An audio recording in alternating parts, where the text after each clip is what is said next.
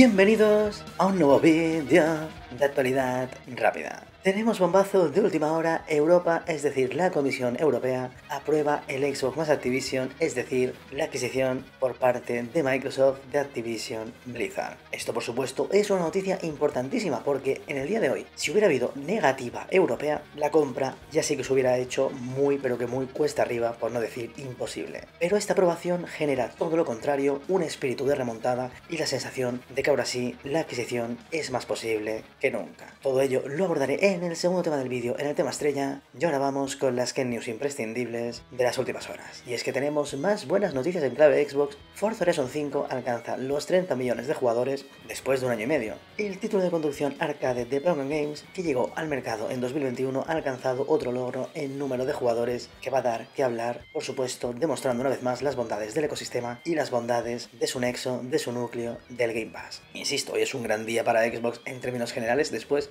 de días más descafeinados después de la negativa de la CMA por la compra y por supuesto la salida de Redfall que no acabó de gustar a un gran número de jugadores, hoy sí que se tiene que decir que estamos viendo brotes verdes y por supuesto hay que celebrarlo.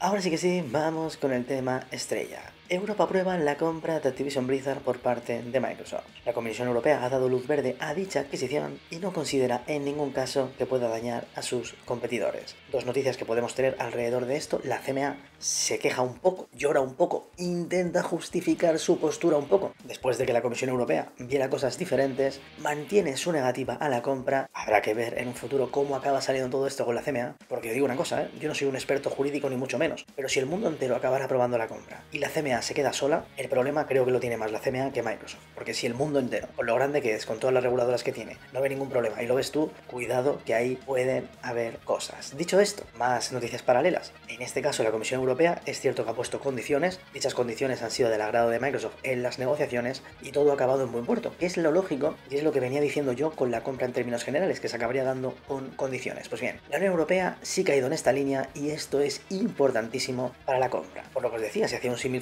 futbolístico, el partido se estaba poniendo muy complicado. Después de la negativa de la CMA, Microsoft estaba intentando remontar y ahora acaba de meter un golazo por toda la escuadra. Y los aficionados del fútbol, ¿sabéis ese momento cuando el equipo mete el gol que da la sensación de que se puede, que ahora sí que remontamos? Pues ese espíritu es el que en estos momentos está en Microsoft y por supuesto se ve bastante posible. Dicho esto, lo que hay que dejar claro es que hay que mantener la prudencia. Esta compra es muy compleja. La negativa de la CMA lo que sí que hace es complicarlo y dilatarlo, pero hoy sí es un día para la esperanza, es un día para ilusión para todos los fans de Xbox que desean la compra de Activision Blizzard. Recordad que si queréis seguir todos los vídeos del canal, suscribiros, darle a la campanita, que YouTube a veces falla. Y si todavía queréis apoyar más y más el trabajo de este humilde canal, podéis ser miembros por el precio mínimo para formar parte de la familia Ultimate. Con ello me despido, si os ha gustado, dar un grandísimo like, sigamos debatiendo aquí abajo en los comentarios y nos vemos en el siguiente vídeo.